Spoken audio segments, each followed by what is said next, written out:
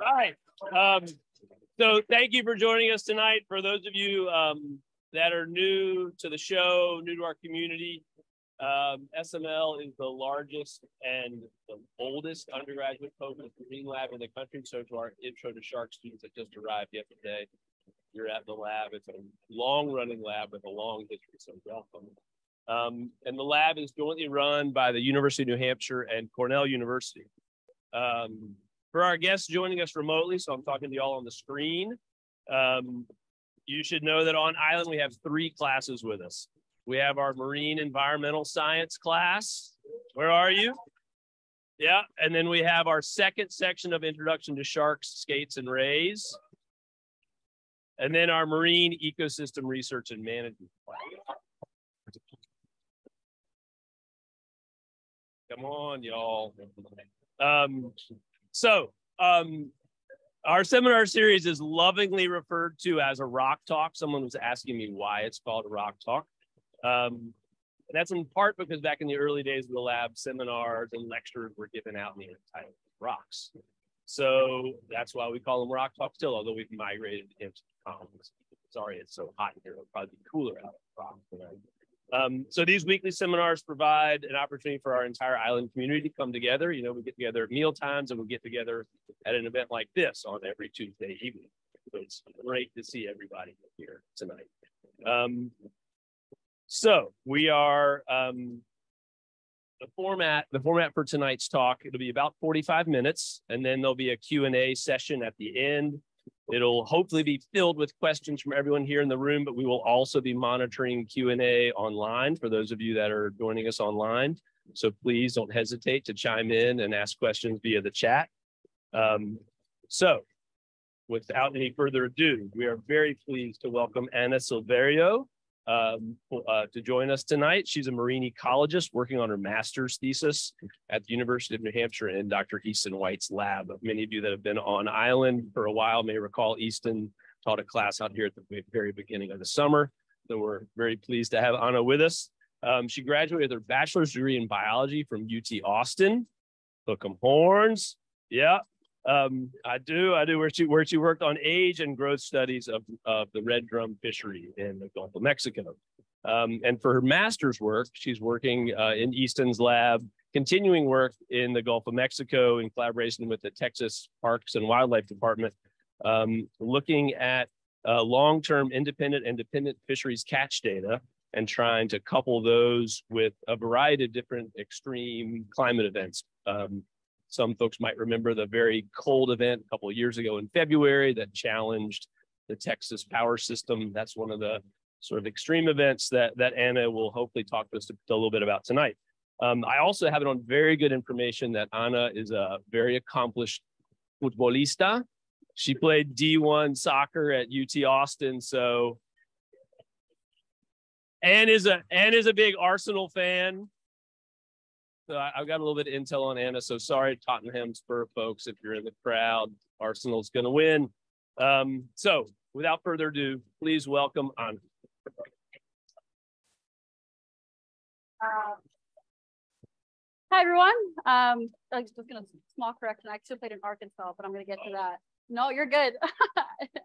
but uh, I'm excited to come here and talk with y'all today. My talk is going to be focused in two parts. So I'm going to be talking a bit about my career path, um, just because I think it's really important for me to pay it forward for all of y'all.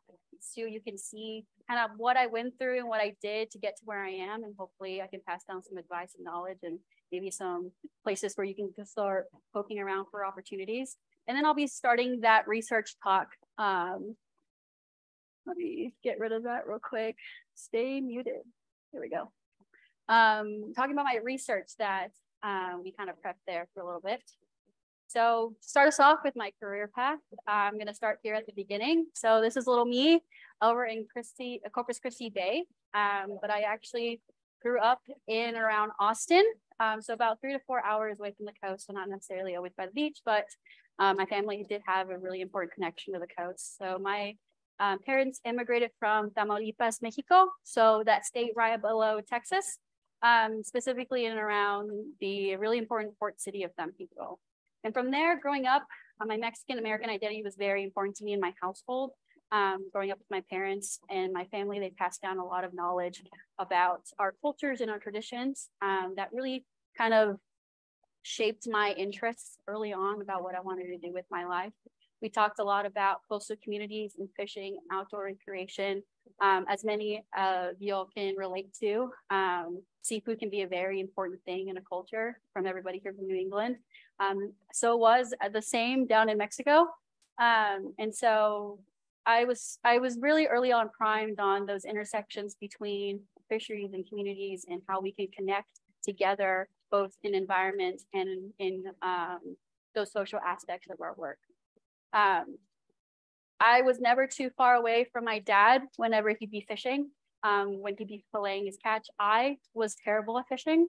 Um, pretty ironic for a fishery scientist, but uh, I was never too far away from him whenever he'd be filleting his catch of the day. And that's when um, I really started getting absolutely fascinated at these intersections of fisheries and ecology and human society. Though at the time, I obviously didn't know what that was or what that word could encompass or that I could even study it. I had a very limited um, access to that kind of representation in my life. Um, as a first gen student, I was the first person in my family to go to college. Um, so for a long time, I just didn't really know that was a career for me. I just knew that I really, really liked the beach and aquariums and the environment, all that kind of fun stuff.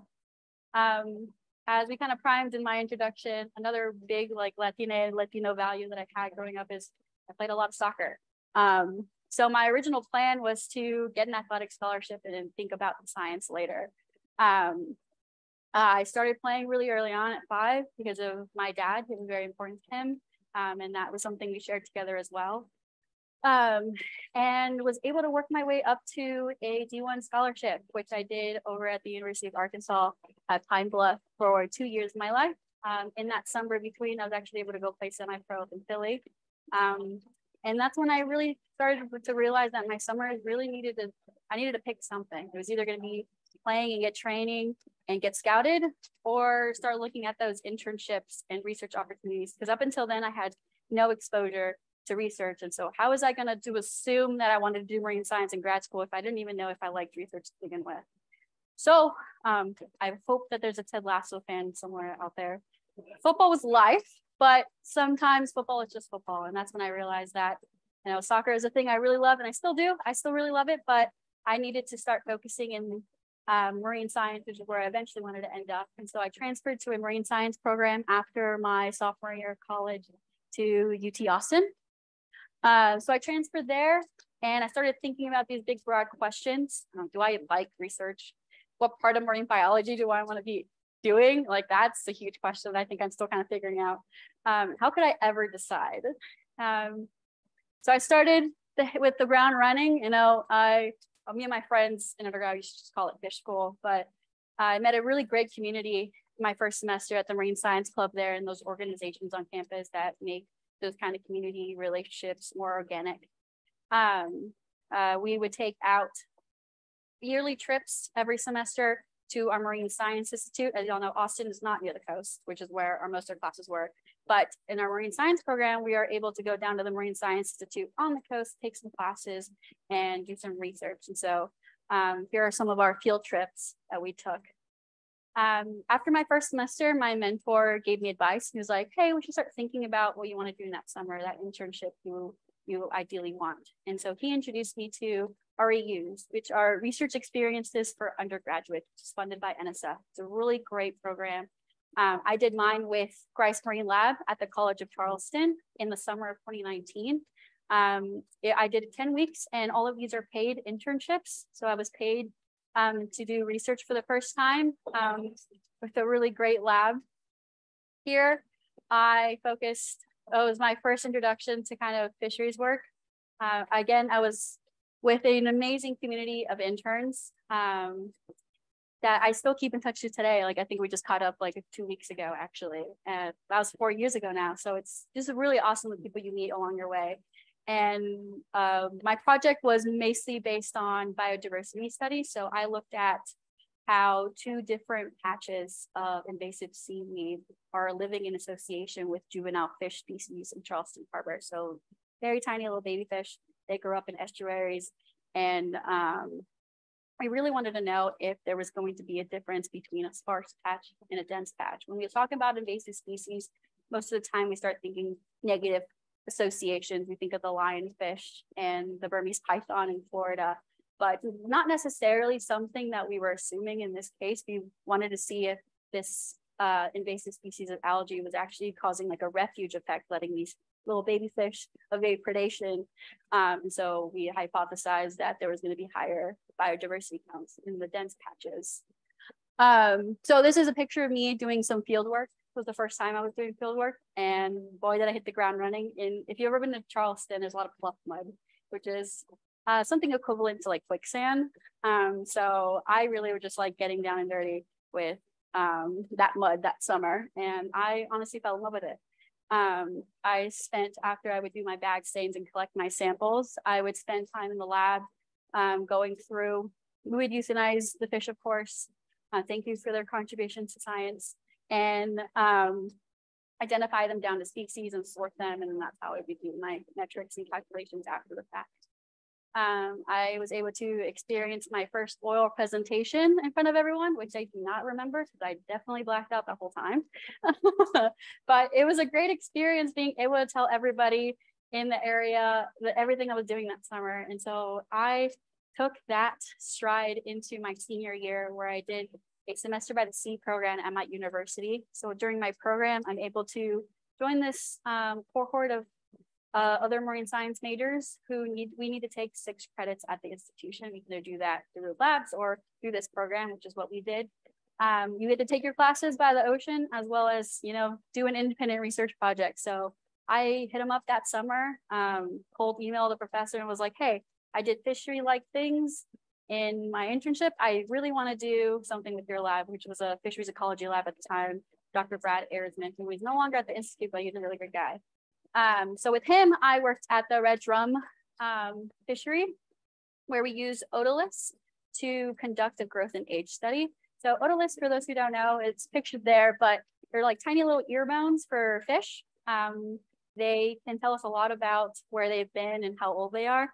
You can actually cut into them like cross section like I'm doing there by a, with a saw um, and that cross section under a microscope, can count those little annuli or those rings, like tree rings, and you can tell how old the fish is. So in this case, it looks like that fish is about three years old. And so I can take that data and put it to a growth model and be able to evaluate the health of that fishery, which was really cool. And I was able to do this semester with a really great group of friends that I had met that first semester too. Some that are very dear and near to my heart. Uh, who are also out doing really amazing things now. Um, and we also, where we did this sampling was at a fillet station where people fillet their catches. We went out there every Monday and Friday morning, literally taking fish out of dumpsters. Since most people don't keep um, the heads, they're just sitting there and that's where we want the otoliths from. We'd go in and collect that. But most of the times, sometimes, I mean, we would see what a fish had for dinner the night prior before it was caught. So this was a, a grouper that was caught and we check inside to come in like sex and uh, sex and maturity and that stuff. And when we peeled that baby open, we found a, a snapper in there, which was pretty cool. um, and this is where I really started, um, again, connecting back to those roots that I had um, with coastal communities. I talked a lot with recreational fishermen and anglers um, and other fishers at those fillet stations when they'd be in there at the same time filleting their catches or walking by. They'd peek in, you're like, hey, what's up? What's what are you doing? And I was like, oh, you know, because sifting through dumpsters is probably not a normal thing. Um, and we, we get to talking and we were like, oh, we're doing this for some research and um, evaluating the population there. And we're like, oh, that's really cool. You know, matters to them the population is healthy because they want to fish in those fish. Um, they also would offer up like, hey, I have some, you know, red drum in at home in a cooler. I'm not using the heads. You want them? Um, so it was a really awesome thing to build those relationships with those folks. And I really enjoyed that part of that research. As you can see, I did this in 2020 and I bet we can all guess what happened. So I started on January, we were doing awesome sampling and we left the beach uh, and things got shut down over spring break. And I had to finish out that semester in my kitchen over in Austin in my living room over Zoom. So this was me at my final oral presentation at the end of that experience. Giving my talk over Zoom. Um, I had to end up simulating the rest of my data. I only had like 15 data points. Um, this was also my first experience in R and uh, bless my advisor and the two grad students that helped me on, Phil and Derek, they were like, I don't really have time to really explain R to you. Here's the code, run it. I hope it works. And I was like, okay. we would sit down and talk about what those little individual metrics would mean so I could explain it to everybody, but I really didn't know what I was doing. Um, and so I left that um, feeling a little like I didn't really scratch that itch I had. Um, but I knew that I found a really new defined goal, which is working in fisheries. So with that, I, you know, I graduated that summer um, in 2020 from UT. I started, you know, really defining those research themes that I had around biodiversity, ecology, fisheries, and stock assessments and growth models, since I didn't really get to fully experience that with my project. I graduated in my living room, like most 2020 graduates did. Um, my parents did the best they could to make it very special, and it, it still was. Um, and I took a gap year and started looking for seasonal positions, research tech positions, in animal husbandry. The reason I took a gap year was I had to really squish in a lot of my classes in two years since that's really all I could afford. Um, I couldn't afford taking an extra year. So I was like, I need to hit the ground running. And I was burnt out. I realized at the end of my undergraduate that all I've ever been was a student. Yeah, I played soccer here and there, but all I ever been was a student. I didn't know who I was outside of those walls in a study room or in a study schedule. And I really needed to figure out who I was outside of that path and knowing what I like and what structure works best for me in my work environment. My end goal was to you know have a career. I didn't know how to be an adult. And so I took a gap year um, and I was able to find a position after a lot of applications, like like 50. I got an opportunity with the Eberhart Lab at my alma mater, which was really awesome. I got had the whole like student ID to like faculty staff ID moment, which was really cool. Um, here, this lab focused on human genetics and used zebrafish as an organism model. You know, some labs use rats and mice. This lab used zebrafish. So nothing to do with what I wanted to do. I don't do genetics, let alone with humans. But they needed somebody to take care of their thousands of tanks of fish, which is something that like I definitely needed experience in. So I was hired as a, as a fishery technician. I helped maintain their tanks, their tank systems, feeding them, um, passing IACUC inspections. And so those who haven't worked with IACUC, it's basically the governing body of working with animals with invertebrates, making sure you're being ethical and, you know, um, making sure you're meeting regulations on euthanization and where they're kept and all that kind of fun stuff. So I helped them, you know, make sure to pass those inspections at every given point. I also helped out with their staining and PCR and just like little side things that I could do to help people along in their projects, which was really awesome. My molecular skills weren't the best. Um, and I was very terrified of a lab bench. Um, and this experience made me much more comfortable holding a pipette in my hand and using my microscope uh, like almost every day. It also gave me strict nine to five hours, which was a big change to what I was doing as a student. Um, I didn't work weekends except for the ones that it was my turn to take care of the fish that weekend since you know they eat every day. Um, and it really made it to where I could grow as an adult um, while still uh, having skills that advance that I were going to advance my career in this case animal husbandry. But again, this is during the pandemic, and I still, as you can see throughout my life, I always need community around me and folks that I can relate to, especially as imposter syndrome really gets to you in these spaces. Um, and so I, I struggled finding that, and I found it online actually with MISS Field School and Latino Conservation League. Uh, so during this time, you know, I really, I connected with these orgs, MISS, is minorities and shark scientists, for those who don't know. Um, they're a really great organization that helps people um, in um, historically excluded groups was founded by four amazing Black um, shark scientists to find opportunities and get mentorship and just, you know, kind of taking back those barriers that exist for so long in these spaces.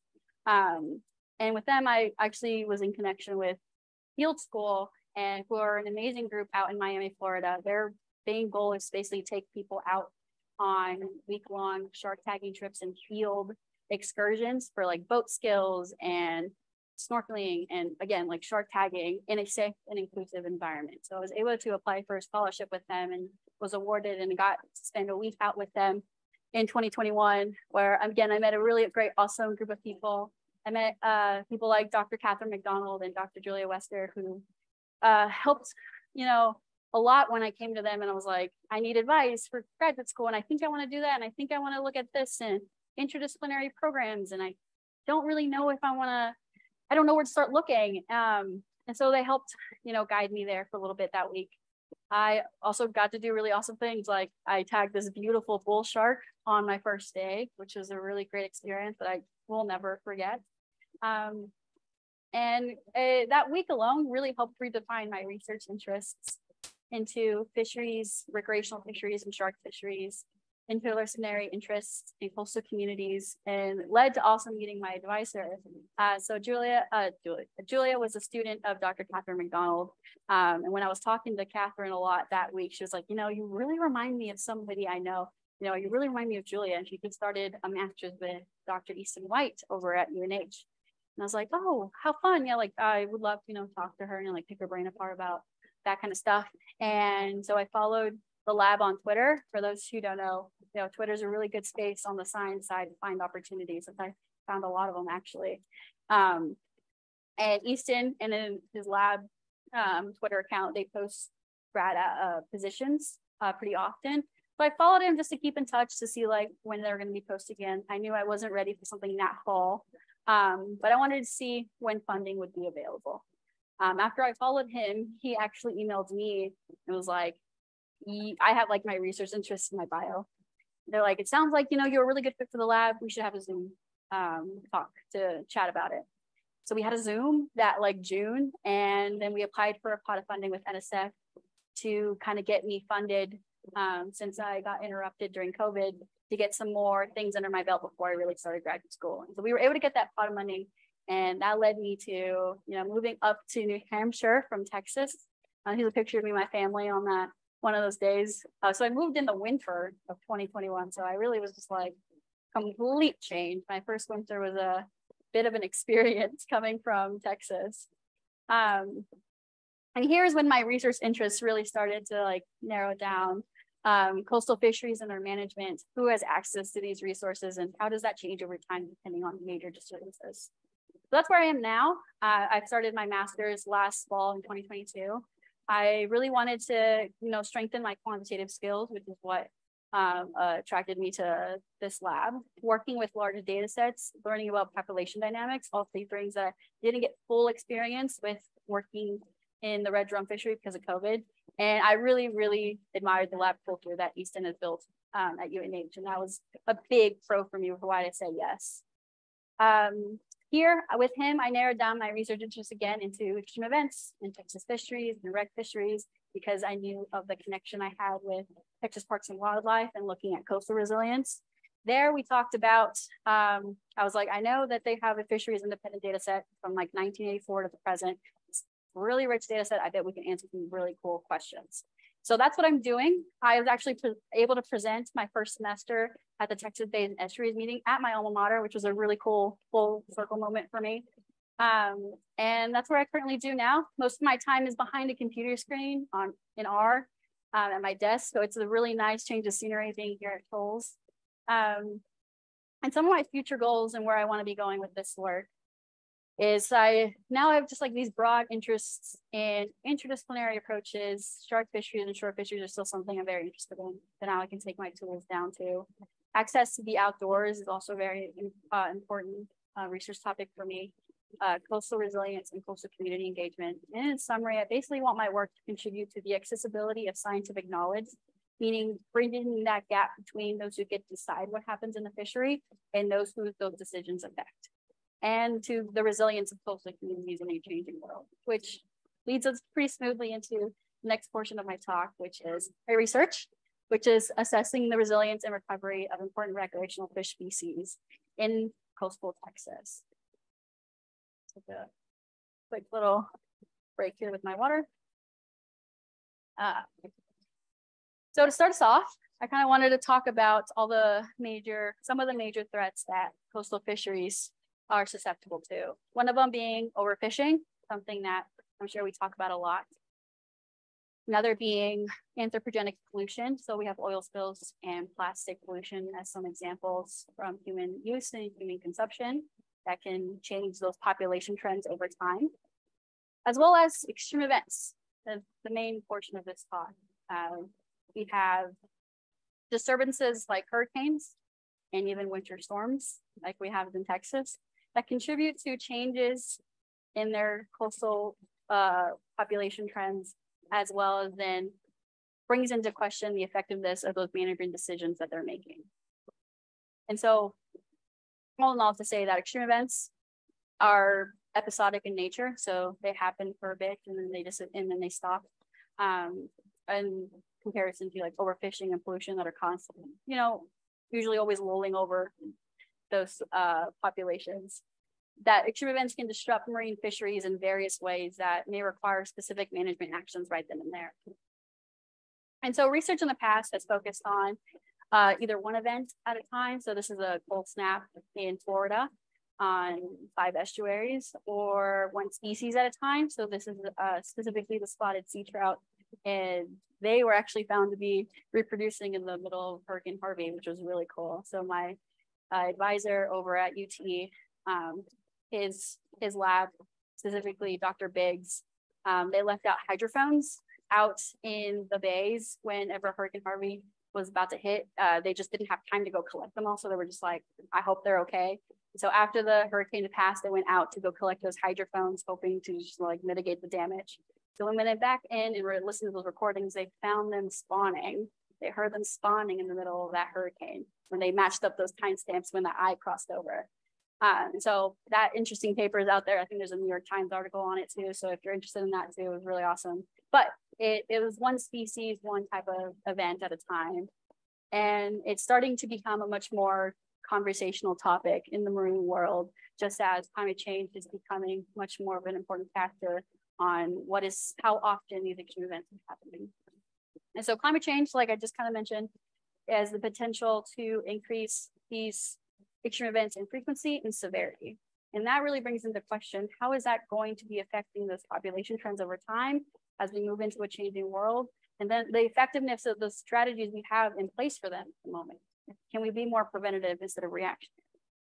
So again, past studies have usually looked at a couple populations at a time and really only one event at a time. We haven't really had an analysis that really looks at multiple events at affecting the same populations over a big um, long-term study, which is something that I hope my study can mitigate, as understanding these relationships are very crucial for the future safeguard of these population and resources. But when we talk about extremity, um, that can be very vague. What do we mean by extreme? Who gets to decide that? So when I'm talking about extremity, I like to define this from previous literature in that it means notable and rare unique parameters means those parameters interactions with the system and also the context of those parameters. So I talk about that freeze event that happened in Texas. Freeze events and blizzards and cold snaps are not a rare and not a unique thing to happen in the Arctic Circle. Those fish that live there are living within their thermal limits. But when those events, that same event, those same parameters are happening in the Gulf of Mexico, then those interactions with the system become unique, become rare, and that is what makes it extreme. And to understand the levels of vulnerability in coastal fisheries, we need to, I want to be looking at resistance and resilience in, in those populations. Resistance defined as the ability of fish abundances to remain unchanged during and after an event, and resilience as the ability of fish abundances to return to that before reference state after an event, so that recovery period. So I know I'm talking a lot about Texas, but like why Texas if I'm in New Hampshire? Well, Texas has a very large coastline. It's extensive. It's very huge. It has 10 major bays, which makes it susceptible to different kinds of extreme events at once. It hits with hurricanes. We just received a freeze um, in 2021 and past freezes that happened in 86 and 89 and I think 74. Um, so not extreme, not unheard of, but a little rare, but it's it's in the historical record. But this allows us to be able to look at different types of events um, and, and not just one, um, since past studies have usually been limited by their data sets.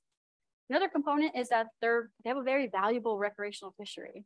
There's this thing we call winter Texans as people who come down from Minnesota and Wisconsin in the Northeast because the weather is enjoyable in Texas in the winter to keep fishing year round. Um, I'll be focusing on four of the most important of the four important rec species. So the red drum, the spotted sea trout, the black drum, and the southern flounder. Uh, that will hopefully give us an insight on how these populations are reacting to extreme events.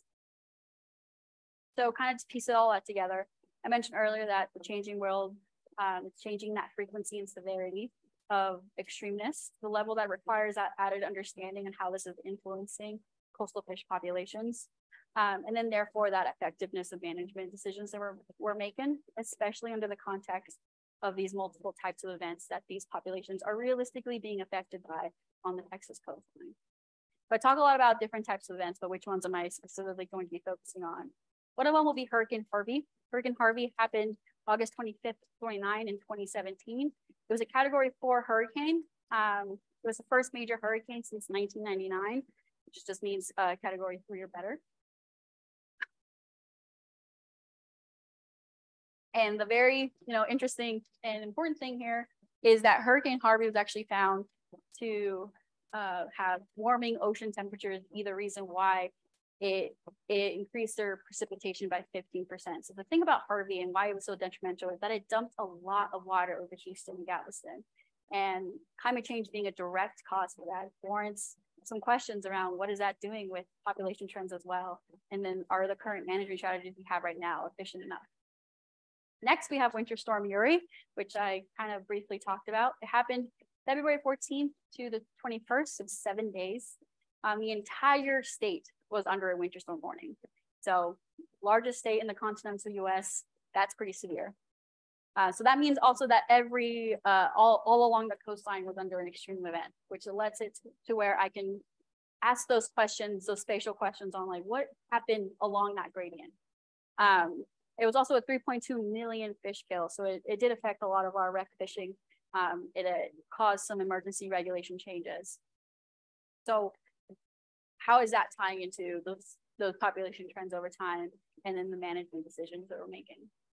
And then something a little unorthodox that I want to try to integrate into my study, exactly the extremeness of the COVID-19 pandemic.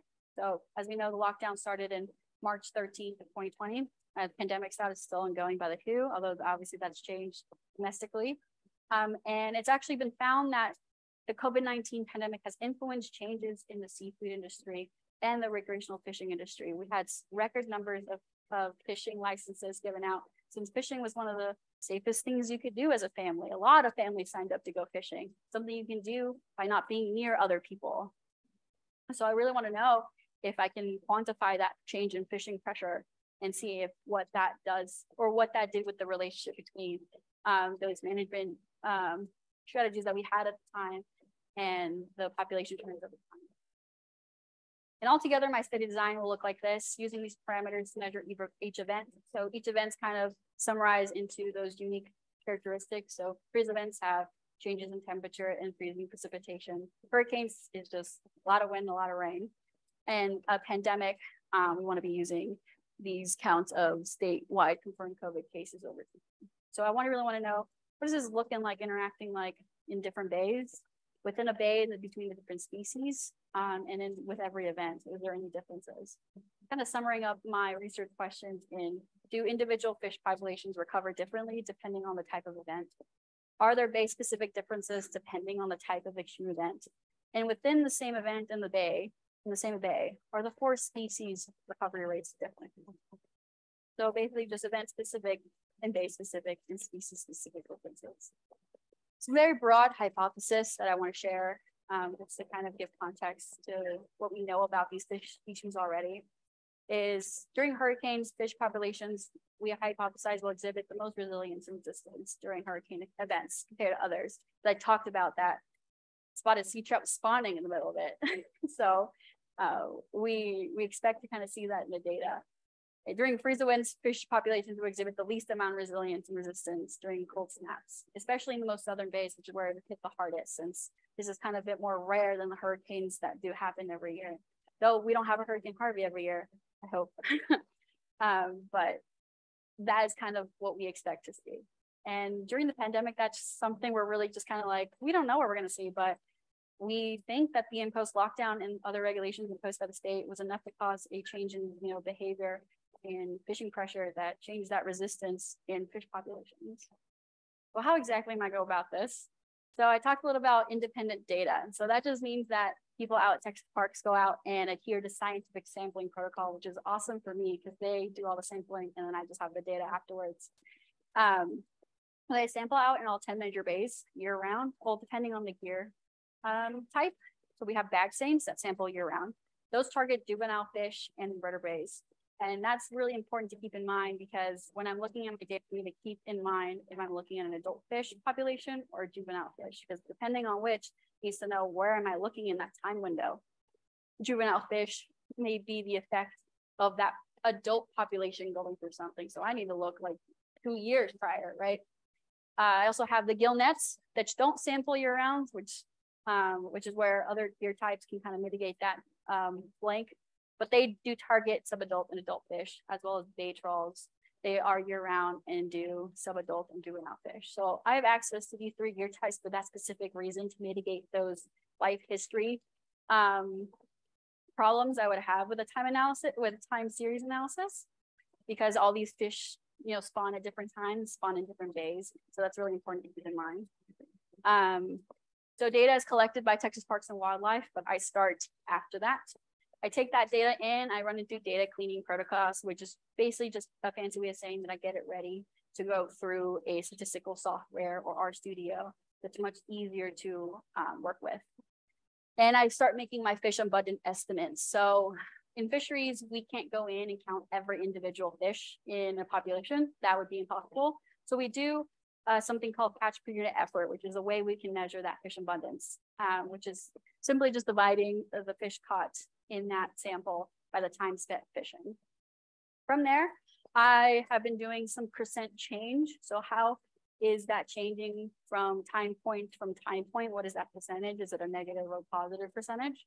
And calculating resilience and resistance metrics. So taking those definitions and turning them into numbers. Um, so I can compare across the four species and integrate them into a model similar to Patrick et al. in 2022. They published a really cool paper out there. They took up a lot of hurricanes in different environments. So it's a very much more generalized study than mine, but they set up a really cool modeling framework that I hope the to create. And then from there, I want to start thinking about management and consulting with Texas and Wildlife. I'm lucky that um, one of my committee members is from Texas Park, so we have an easy way to kind of discuss my results from there. And I also hope to integrate 22, 2022 data in there soon.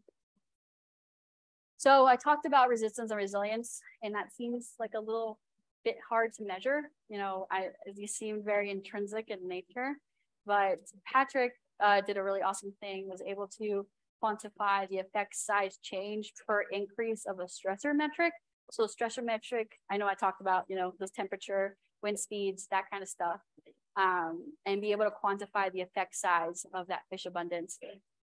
And so it's really just a fancy way that they have fancy equations that I'll be able to, to also use for my study and fit into a model to understand these relationships. And so for today, I do have some preliminary results to show from y'all for y'all. Um, this was super early on when I first was diving into this data set. Like I said, it was very large. So you really need to know where you can start. So you, I ran some time series monthly averages over time, just kind of see where I can start, you know, uh, diving into more. And so just to quickly orient yourselves to what the figure will be telling you. So each uh, square is a different bay. Um, and over time, so it is a monthly average from 2015 all the way down to 2021. And that is just the trend of for, for Red Drum and why being catch per unit effort. So just some quick key takeaways. So you can see in San Antonio Bay, you can see these seasonal trends that Red Drum is just, you know, rocking along. It has the same peaks and the same troughs yearly around the same time. Um, the red dotted line is Hurricane Harvey when it when it made landfall. So you can see they're just, you know, it's chugging along. It's living life like normal. Um, in Aransas Bay and Corpus Christi Bay, there seems to be um, sorry, uh, some kind of dip right after that event. Uh, we can't really know what that if that's attributed to the event precisely, but it's something that you know where we can dig a little deeper in. And then the lower Laguna Madre, you see that peak after that storm. Um, and so we're curious to see what is causing that specifically. In the spotted sea trout, so same exact kind of figure, just a different fish. Corpus Christi Bay and Galveston Bay, seasonal peaks were lower after the event, and then you can kind of see it recover um, the following year. So you see at the red dotted line, um, it go down that peak and then kind of reaches back up to where it was going, um, was reaching towards before that event happened. Uh, and in San Antonio Bay, again, that steady seasonal trend with the hurricane event, it's just chugging along like nothing happened. Um, the Black Drum, the San Antonio Bay and Upper Laguna Madre, there's some oscillations in there. There isn't a lot of activity in those other bays. A cool thing about Black Drum is they pretty much only spawn well, not only spawn, but they majorly spawn uh, in the upper Laguna Madre. So this is not surprising to see. Um, but there's an interesting peak in some of these graphs towards the end in multiple bays. And the weird thing is that it's also in 2021, which if you remember, that's during the freeze event. So here we're focusing on hurricanes, but that lets me know that maybe that's worth looking into. That's little, little interesting.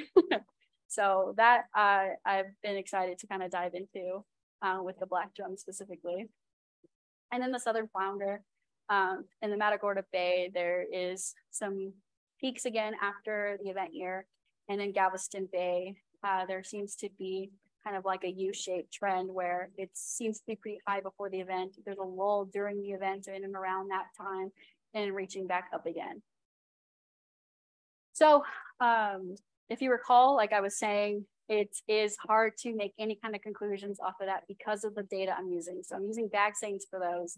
And so when I'm talking about juvenile fish, I need really to be considerate of where I'm choosing the time of window I'm looking at. If I am looking at when that event happened, but the normal intervariability trend where that decreases, we need to be careful to make that, not to make site selection bias where I just attribute the population declined um, when it's just a normal variation that usually happens in that day. So that requires a lot more, you know, brainstorming and with my collaborators and how we're going to mitigate those biases, uh, which leads me into my next step. So these brief analyses that I did super early on into my research opened up some interesting trends that I could dive more into. It's a really big data set. And I incorporating those necessary strategies to aid that site selection bias and working with long-term data this summer with my collaborators maybe introducing a lagging time series analysis to change that time window I'm looking at, incorporating that GillNet data because it has the adult population numbers in there, and setting up an accurate baseline number appropriate for that fish species on what I'm calling the book for. And uh, calculating that effect size to model resilience and resistance to storm parameters, like I talked about earlier.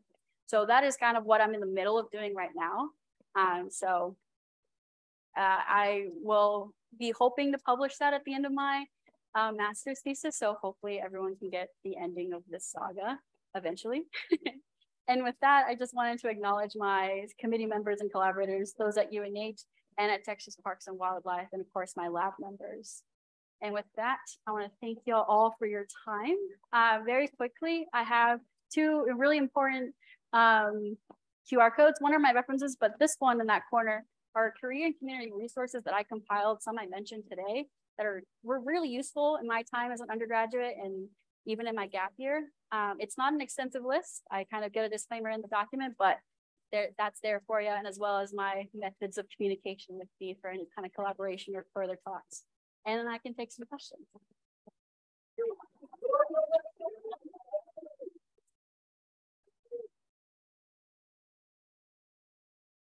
Thank you so much, Ana, for all of our uh, our young students and aspiring scientists. That was really wonderful talk. So um, Q and A time. Anyone have any questions here in the audience?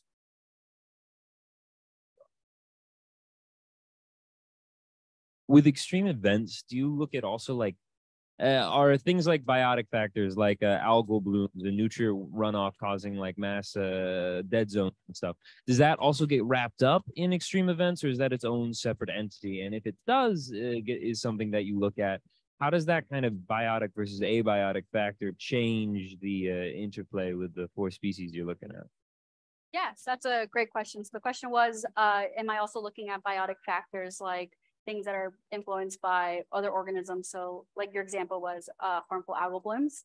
Um, and the question for that part is, yeah, that is definitely considered an extreme event. Uh, we actually played around with the idea of integrating as that one of my types. Um, we were already biting more off than we can chew, with my master's. I, if I was doing a PhD, that's probably something I could have done, but I only have a very short amount of time to like really dive into these questions and I already made it complex enough. Um, but that is what we considered an extreme event when we were pro- kind of proposing this project. And just to kind of play around with your second question, the second question was, what do I think? If so, that does to my fish populations, um, knowing what I know about these fish. And um, one, harmful algal blooms are really, you know, really susceptible to climate change since warming ocean temperatures tend to really correlate with that. I don't know a whole lot with these fish species in particular. I know that red drum um, are really hardy fish. So they're they do pretty well in anoxic environments. A lot of research is done actually at UT looking at specifically. Um, so in moments where there's a, a less oxygen, um, red drum perform pretty well in the sense of like their survivability tends to be better than other fish species. But um, I would be curious to see if anyone else does that. That would be really interesting. Any other questions? Like the catch rates or densities rhythmically changed. Why was that? Oh, uh, specifically the spotted sea trout and the red drum, which is kind of where I saw that mostly. Uh, those fish are like a timer. They are really good at, at going through their pulse recruitment at the same time of year every year. So with red drum specifically, they exhibit that in the months between August and November every year. And so uh, there's a paper from uh, Rooker back in 1990 that did this um, analysis and it's been pretty true since then. Um, so they're just really good at, at, timing those spawning rates, which is something I have to keep in mind whenever I'm doing analysis. Uh, I'm not completely sure. I, I think I just, uh, I, I don't know what influences that specifically seasonally, but I, I just know that they, you know, go out into more of the open water to kind of spawn and then they kind of just rush back in. I know that there's a lot of research into that right now though. Like I know um, actually one of my committee members, her partner just is studying that pulse recruitment kind of movement in Texas as well. Thank you. Thank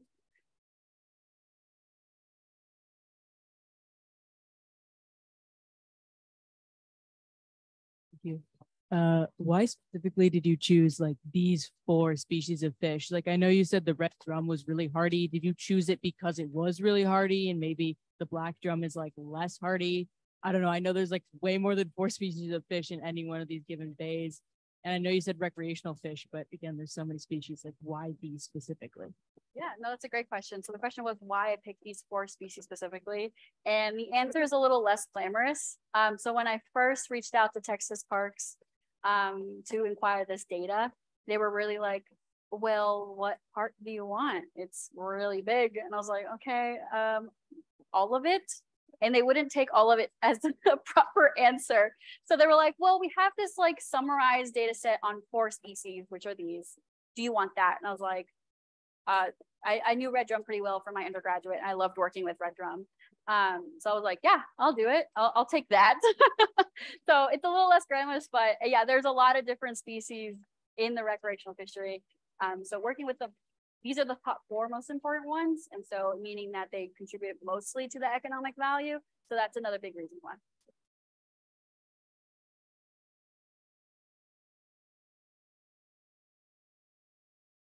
Um, when you're thinking about like effective management strategies, is that something you're going to want to do more research for to see how they like some examples like impacted, or is that something you're just going to kind of analyze with the data you already kind of so the question was um, what I'm thinking about when I talk about, you know, influencing those strategies at the end of this. Um, I, I hope my research contributes to that. Um, initially, when I started this, I saw that as a really clear path to a job. I was like, Dacus, you just saw me do this really awesome thing. I could sit down with it more and think about those, writing up that plan for you. Um, at the moment, that kind of life decision has changed for me on whether or not I want to go back to Texas. But um, ideally, I would still love to collaborate with them and continue on on the like management side when I'm done with the science part. Hello. I don't think I need this. Oh, okay. I do need this. I love a microphone. It's been a while. Um, so I was wondering, um, you have home base in Texas right now. I was wondering if you are ever interested in maybe working with Mexican fisheries, giving back to your community, uh, your heritage. And I ask because um, I'm Brazilian American and I'm battling with the question of whether or not I want to work in America with environmental conservation or Brazil. Um, so I was just wondering what your goals are in terms of that. Yeah, no, it's, it's a phenomenal question. So just kind of summarize that asking. Um, so right now I'm working with Texas um, and with my Mexican American identity, I consider working with or would want to work back in Mexico with those fisheries. Um, and I, I, I would love to, honestly, I would love to go back and work with those people out in Mexico. Um, I've met a couple really great Mexican scientists throughout my career that do really awesome work. And I do see, I am open to that collaboration. Isn't exactly I'm tiny over in the sense of like, I'm not only looking for jobs there, but if that opportunity and that connection would arise, I would really like to. Um, I guess the advice I could give you was um, just including that into your search. So I like, I'm a, I'm a very like the chips fall where they fall kind of person. And I don't know how, what how you are, but it doesn't hurt to at least look what's out there and seeing um, if that fits with your life plan. But I, I found, I found joy in that too, to be able to go back there and kind of work with uh, that initial community that my parents are from. Hi, um, thank you for a great talk. Uh, I wanted to ask, why did you choose to do recreational fisheries over commercial fisheries? And what's the difference between those two on a management level?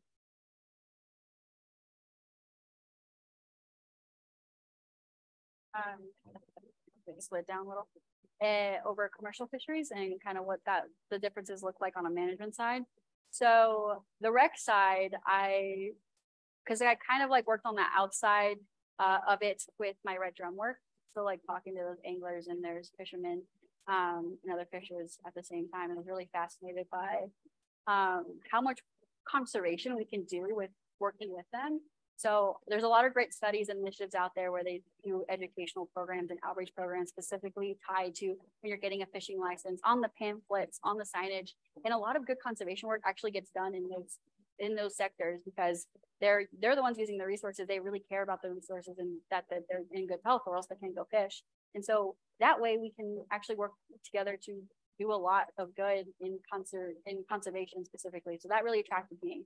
And on the management side, um, I'd say that there are a couple main differences. So rec fishing, um, the regulations more look like how many fish can you catch at once specifically, um, what you have to measure. So you have to make sure you're getting the fish at the correct length um, that is allowed for that fish. Um, and on the commercial fishery side is a lot more like broad scale because you're involving a lot of moving parts. So different countries, different organizations, different communities, different fish species. That fish which is being fished in that area, that food could be going to all over the world. And so that requires a lot more moving parts. And so those regulations can look a lot different for those reasons.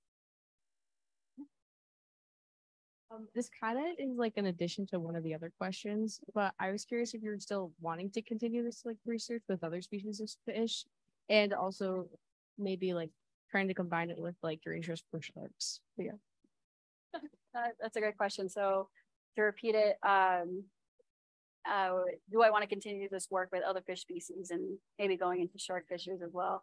Uh, yes, I I absolutely I I don't discriminate fish species. I love all fish species. I'm a big fish girl. Um, and so ideally I would love to work with um, I would love to do this kind of work with on the more like biodiversity side, like looking at fish communities as a whole. Um, so not just like four specific ones, but like across that that ecosystem specifically. And with shark fisheries as well, I'm completely fascinated by it. Um, just because I know in Texas specifically, there isn't a lot of monitoring right now on the shoreline. Uh, there's a lot in the piers and the docks and stuff. Um, but you know, a lot of fishing happens on the beach and I would really love to like dig my hands into that kind of world too. Time for one, maybe two more questions. Anyone? Wolfgar again. Oh, go ahead, please. Okay. Um, hi, I was just wondering if like, um, these four fish, for example, occur in a similar habitat, and if you're looking at the effects of these extreme on one specific habitat, or if you're looking at it on different, so like, for example, I don't know how it is in Texas, to be honest, but like if you have like seagrass meadows or something like that. So the question was, um, when looking at these four fish species, am I looking at um, how different the different environments they're using during these events? And yeah, I do take that into consideration. So uh, spotted sea trout and red drum, um, those juvenile fish tend to hang out by the seagrass in those meadows, and so um, knowing that they so Texas has a lot of barrier islands, and so that just means that like there's a like strips of land up along that coast that makes it to where that bay inside is pretty large and long. Um, and so I'm I do have to take bay this like characteristics into account when I'm looking at these different bays. So like the Laguna Madre, for example, it's so large, it's technically a lower and an upper part, but it's technically one bay.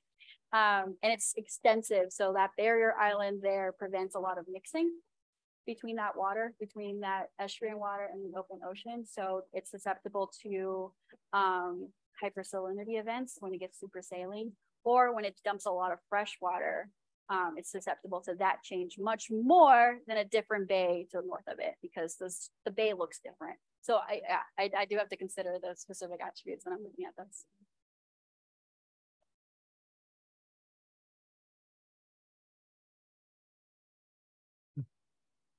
So I guess my question is with like the storms and these cold snaps and stuff like that, it seems like there seems to be kind of more of an increase in those more like uh, intensity wise.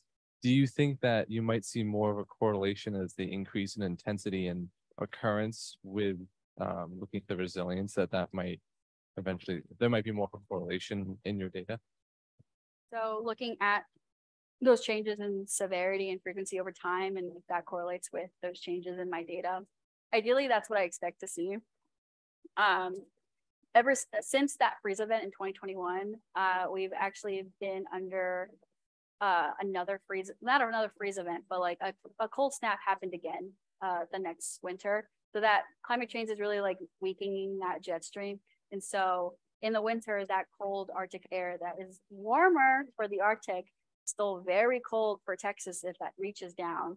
So for moments in time in the winter, we're seeing those blasts kind of reaching down. If y'all remember over uh, the holiday season last uh, year, there was a, there was that big storm that was like in Chicago and the Midwest, um, and so that caused some freezing temperatures again in Texas that we had to close the fishery again.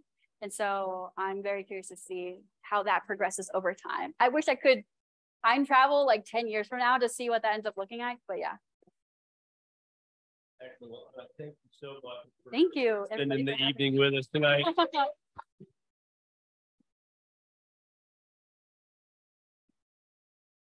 All right, gang. So that was that was the end of this evening's rock talk. For those of you that are with us online, um, please take a look at our website, shoalsmarinelaboratory.org, for additional information about rock talks that are coming up in the future. Uh, and so next week we are going to be welcoming. Give me just one second. Let me find my notes. Uh, uh, John Mohan from the University of New England. Um, and so John and his lab, he runs the shark and fish ecology lab at the University of New England. So guess what? Oh, he's oh, all right. So keeping it in house with the Texas Longhorns. Excellent. So next week we'll be learning a lot more about sharks. So please join us.